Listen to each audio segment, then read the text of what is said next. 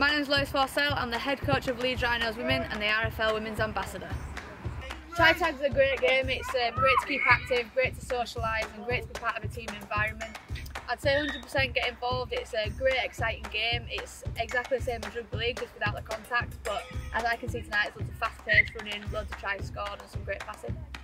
It's fun, great fitness and social, give tag a try.